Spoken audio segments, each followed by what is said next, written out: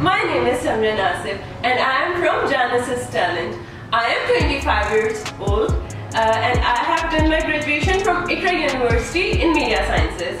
I have also done my acting course from Arts Council.